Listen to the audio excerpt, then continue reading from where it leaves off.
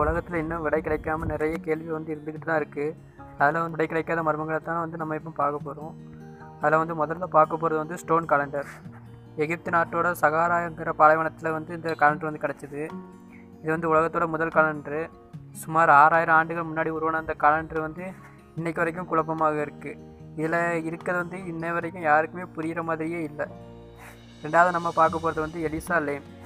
அமெரிக்காவில் வந்து ரெண்டாயிரத்தி பதிமூணாம் வருஷம் வந்து வந்து இந்த பொண்ணு இறந்து போகிறா ஆனால் இவ எப்படி இறந்தாங்கிறது வந்து இன்றைக்கு வரைக்கும் யாருக்குமே தெரியல. இவ உடம்பு வந்து ஒரு தண்ணி தொட்டியில் இருக்குது.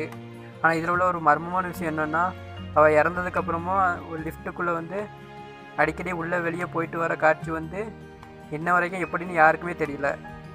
மூணாவது நம்ம பார்க்குறது வந்து பழமையான இரும்பு ஸ்க்ரூ ரஷ்யாவோட தலைநகரமான மாஸ்கோவில் வந்து ஆயிரத்தி தொள்ளாயிரத்தி தொண்ணூற்றி எட்டாம் ஆண்டு வந்து இந்த ஸ்க்ரூ கிடச்சிருக்குது. இது வந்து முந்நூறு மில்லியன் வருஷம் பழமையான ஸ்க்ரூ டைனோசர்கள் கூட உருவாகாத அந்த காலகட்டத்தில் எப்படி உருவாகியது? இதை யார் உருவாக்கி இருப்பார்கள் என்பது புரியாத புதிராக தான் இன்னும் இருக்குது.